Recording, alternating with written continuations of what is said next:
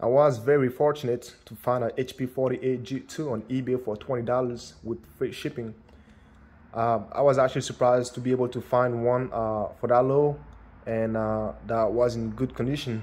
I just got an email. I'm gonna go ahead and unbox it and do a quick comparison. This is a 49G Plus.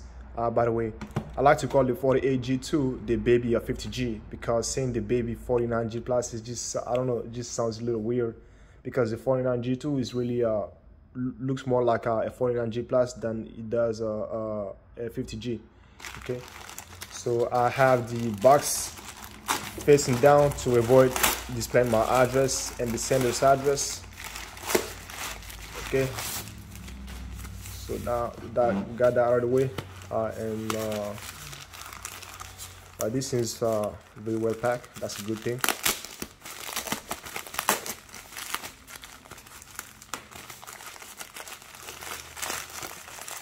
Okay, my videos are not scripted and uh, they probably never will be. Okay, uh, this guy didn't really want to take any risk. I, I, I respect that for free shipping and uh, the shipping was uh, fairly fast as well. It took uh, three days. I made the purchase on the 3rd and uh, the buyer shipped it on the 5th of October okay so yeah thankfully my address was not displayed here. Or the sender's address. Nice. Well this is really really well packed. I'm, I'm, I'm very happy with uh, the packaging. Okay. Not necessarily not necessary but uh, better be safe than sorry This is actually my second time uh, holding one in my hand. And last time I held one was not too long ago. I just held it for... Uh, oh wow, nice. Yeah, the last time I held one in my hand was in a darker room. So I did not even know that the color, I thought the color was the same as the 49G Plus. So this is... Uh, This is identical, as you can see, when it comes to the keyboard or the key layouts, it is identical to the 49G Plus and the 50G. That's why I like to call it the 40, the baby 50G because it has the same function, function, fun, functionality, fun, function, ah, I can't speak English, functionalities. uh, when it comes to the software, uh, it is essentially the same as the 49G Plus, the 50G, and even the 49G that came out in 1999.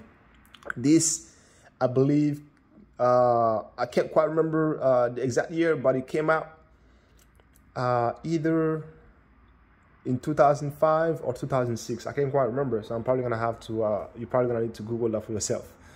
But uh, yeah, it is uh, faster than the 49G, that's for sure. It should be faster, way faster than the 49G that came out in 1999 because this came out in mid 2000, I believe, mid 2000 and uh, yeah let's go ahead and uh, take a look at it. Mid 2000 or early 2000 so there shouldn't be any battery in it. I really wanted the uh, so okay so uh, something that I want to mention before I forget the 49G2 uh, ha uh, had two different versions. One with a three triple that takes three triple A batteries and there's a second version that takes uh, four AAA batteries. That's the one you really want because that one has more flash memory and more RAM as well but when it comes to the processor speed it is essentially the same okay? So yeah that's always good to have and here we have the backup battery. Uh, it's probably gonna be dead. The backup battery on most of these stuff are dead anyways but uh, but I'm, I'm gonna keep it inside anyways. I don't even know how this one came off. Yeah okay so just push it. Yeah. Okay fairly easy okay so i have uh, some batteries here. These came out out of my uh, ti uh, voyage 200 that i managed to uh, break. Uh, I, I broke the display while i was trying to disassemble it. It is what it is. And uh, on ebay in in the pictures they show the calculator on so this should work right away. Yep. Very nice. This is really really good condition. I want to mention that. Not good. It's actually in excellent condition. As you can see, they, they, they just uh, they literally just recycled the case or yeah the casing of the 49G and just did some minor tweak to it. You can even see that uh, I guess at some point they wanted to keep uh, the SD card slot, but they decided to drop it because this was uh, a low-end version of the 49G Plus or the 50G. Uh, I can't quite remember the uh, exact processor it is using, but it is uh, uh, slower than the 50G, the, the flagship calculator at the time, or even the 49G. Okay, so out of the box, it comes uh, in algebra mode, and if you have these calculators from HP, the 49G Plus, you know, there are legacy uh calculators, you want to use them in RPN. That's what anybody would want. Okay, so I'm gonna put this in RPN really quick. Okay, I'm trying to do this behind the camera, so yeah, it's gonna be slightly awkward. Um, so I'm gonna go to flag. You know, uh, the software on these calculators are essentially all the same. So yeah, and this is really fast. I'm really happy. So this is compared to the 49G, this is much faster than the 49G. I can tell already. So box I'm gonna choose that. Those are the only two options I choose really.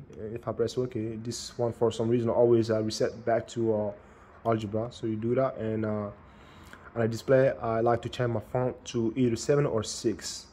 Okay, I'm gonna set it to six. Mm, and the header, yeah, that's fine. The clock, we do want to display the clock. Eh, clock on the calculator. Eh, it's alright.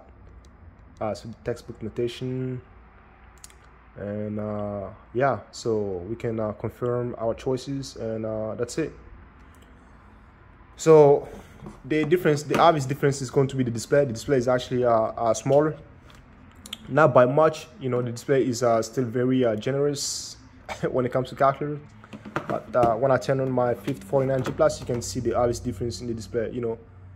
Uh, so huh it's not even that bad. You know the stack here is displaying up to seven line and here it is displaying up to seven line as well so that's not too bad. Let me put uh, the numbering.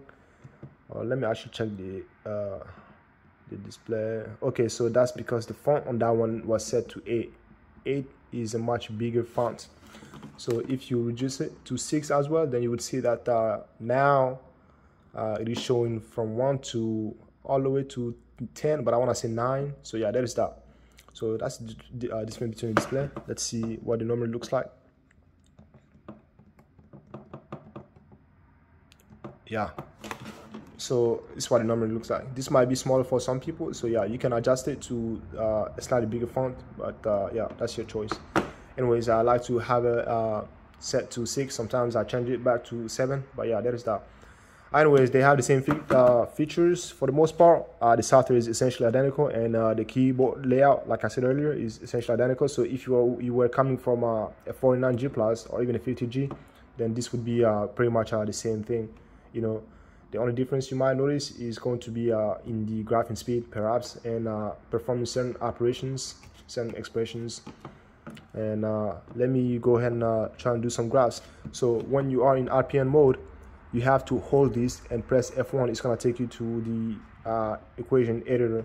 And when you are in equation editor then it doesn't matter. You can just uh, hit shift to go back from a window to the uh, to the uh, Y editor. That's really weird. That's on this only happens when you are in RPN but when you are in algebraic mode then you can just uh, hit the uh, left shift key once and then press F1 for some reason. In RPN you have to hold it and then press F1 all right so that is that. So here we are in rpn let's see. This one was about to fall. So here we are in rpn i'm gonna hold it f1 and uh, i was doing some operations earlier. Uh, i'm just gonna go and delete all this stuff uh, and i'm gonna go ahead and add some more and uh, something i want to emphasize is that this y1 of x is really you don't really have to have it you can delete it it's only there to save your equations if you want to uh, reuse them for uh, uh, for, for later. So you can erase the whole thing and just put your equation there. So let's just do uh, x squared, uh, shift it down two units, why not? And press enter, it's gonna put it on here for you.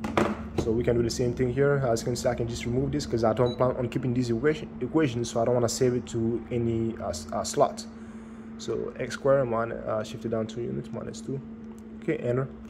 And uh, make sure you erase in case there were any graph. So I'm gonna go and press uh, draw at the same time. Okay so yeah. So the difference is not even that uh, that obvious. Uh, let's click on cancel and go to the Windows settings. So they are both using the default settings and I believe this one has a slight advantage. So I'm gonna set it to zero. The step by default is going to be zero. And uh, if you didn't know that then you can always uh, press next and uh, reset the these values here. So press reset all values press enter it's to reset it. So this is how the calculator comes out of the box. So now they're both using the default values so I'm gonna go and try to graph it again. Okay so mm, guess press uh, okay so should I press cancel instead of okay? Okay so erase erase. Now I'm gonna redraw them. Okay so there really isn't any difference between these two but I believe this has a faster processor. But when it comes to graphing as you can see as you just saw for yourself there really isn't any difference at least for this kind of graph so let's uh, make it more challenging to add uh, some more graphs. So cancel. Okay so I already uh, uh put all the equations. I'm going to graph here. Uh, before something I want to mention before I forget is that uh, on my uh, 49G Plus, I noticed that the zero key is does not really register your input unless you press really hard. So that's kind of unfortunate, and that is something that is not here, which is great to know. It could just be my model because it is a fairly old calculator, so it could just be this unit. Maybe the calculator is getting old, and yeah. the keys are stop are not work, working properly, but that's something I want to point out also some people also uh, claim that the keyboard on the 50g is much much better than uh, the keyboard on this 49g plus so that could also be the reason okay so yeah uh, that's something i just want to mention before i forget so let's go back to our graph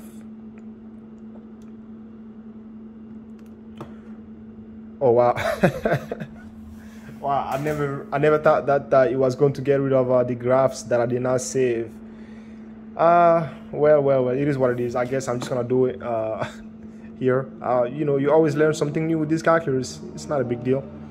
I'll do it really quick. Uh, so this is uh, cosine function secant of x. Uh, this okay. Also, these these calculators they don't have all the trig functions, which is something uh, all Texas Instrument calculators do, such as secant, cosecant, or even cotangent. So uh, that's something to keep in mind. So 1 over cosine of x. And uh, let's add one more graph. 1 over x. Yeah, let's do that. 1 over x. I don't even, I can't remember which one I did last. Okay, so erase all the graph. And I'm gonna try to graph them online. So this just uh, for the purpose of this video, I'm just gonna check and see uh, which one is gonna uh, finish graphing first. Uh, you probably won't this graph is to look really messy because it's not to be uh, crystal clear because of the uh, of the way these functions look. Okay, anyways, let's let's go and graph them. Okay, so okay, so now you can see the 49G plus shining.